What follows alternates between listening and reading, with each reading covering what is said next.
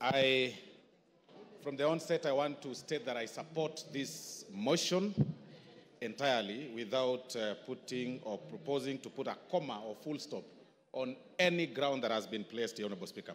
Honorable Speaker, I want to remind the Honorable members that uh, Clinton, Clinton was almost impeached, or the impeachment attempt against Clinton in 1998 was out of the Monica Lewinsky.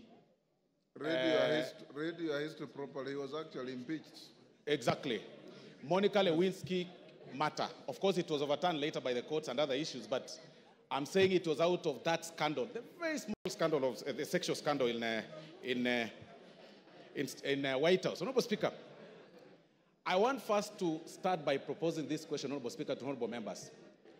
How would you feel that when you eventually transit to the next world, you are dead, that your brother or the person that you choose to entrust to take care of your wife and your children's property decides to start using those property for his own personal use as members? How would you feel that that is the question that honorable members should be making uh, should be answering themselves before they vote today later today honorable speaker honorable speaker the late governor Nderitu Gachagua passed on on 24th of February 2020 2017.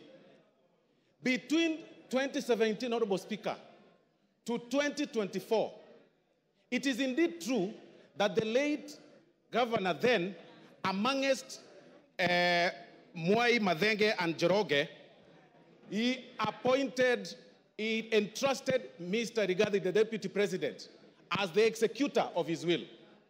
But, Honorable Speaker, between 2017 and 2024, the property that, and this is, Honorable Speaker, is in the documents that uh, Mwengi Mutuse has shared, Honorable Mwengi Mutuse shared with us Uh, and tabled in this House, that between 2017 and 2024, he's been able to alter or tamper with those companies, make himself directors in some of those companies, transfer some of those properties to himself, disinherit the, some of the beneficiaries, the kids of the late, and put them to himself. And then one particular case, Honorable Speaker, is the Olive Garden Realtors, Honorable Speaker, that was actually uh, altered on 2nd of March 2022, using the position of power to his own advantage, Honorable Speaker.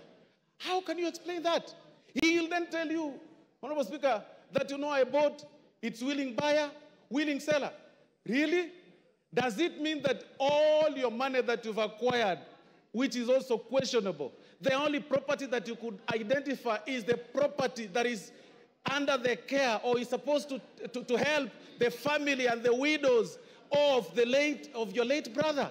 How wicked can we be? Then you come in full glare of camera and tell the members of the public that please let my brother rest in peace. I decided to hold this property in trust for them when the brother, the kids, the widows, and the daughters and sons of the late are languishing in poverty and complaining and crying.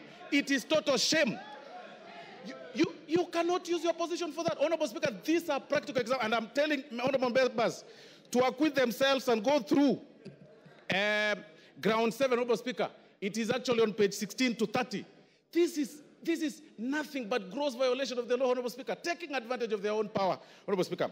Honorable Speaker, and you know, even to prove that, you will realize that those companies, by the time the companies were being, some of them were being registered, the new ones, and the time the, the, the, the, the, transfer of these properties were taking place. Honorable Speaker, the whole thing is actually contemporaneous. You need not to be a rocket scientist to know that clearly this is fraud and this is uh, um, um, this was taking advantage of the, of the late. I want to invite, to, I want to remind the Honorable Deputy President of the good book in the book of uh, uh, Proverbs chapter 15, verse 25, that the Lord will tear that's what the Bible says. That the Lord will, will, will tear down the house of the proud, but will establish the boundary of the widow. That is why we are here today. If there is no other reason that has brought us here, Honorable Speaker, it is to protect the family that is being disinherited of their property under coercion, blackmail, and threats. If there is no other reason, Honorable Speaker. And that is why, Honorable Speaker, even it, it's actually biblical again. In the good book, Honorable Speaker, of uh, the book of Exodus 22 22, that do not take advantage of the widow, do not take advantage of the fatherless. If you do, and they cry to me, I will certainly hear their cry. And my anger will be aroused, and I will kill you with the sword.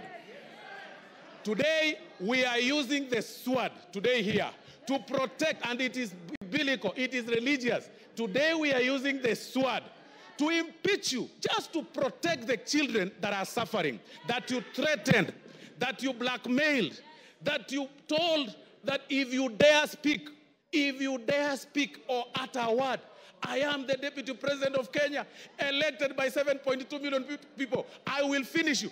Finish who? We will finish you today in this floor of the House.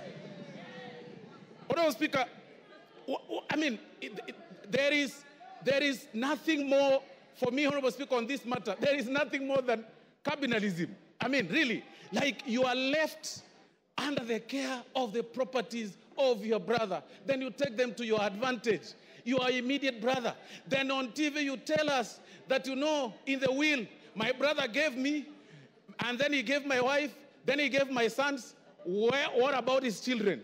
What about his widows? What about his sons? What about how proudly can you say that you are only enjoying the property of your brother? For that reason alone, Honorable Speaker, we say Gachagua must go. If there is no other reason, today Gachagua must go.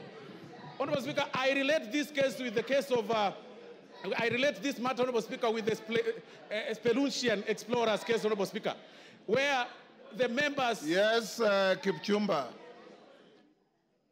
Timothy